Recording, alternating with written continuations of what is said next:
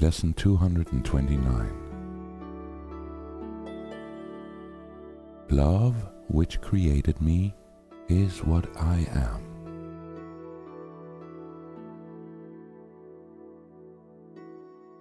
I seek my own identity and find it in these words. Love, which created me, is what I am.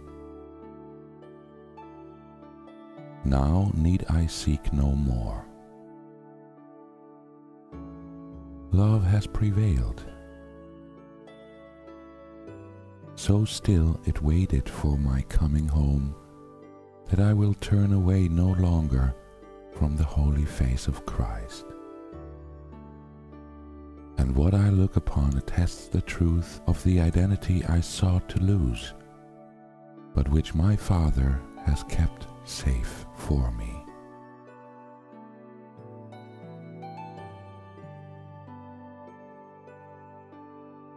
Father, my thanks to you for what I am, for keeping my identity untouched and sinless. In the midst of all the thoughts of sin my foolish mind made up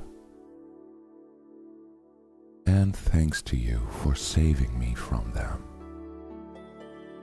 Amen.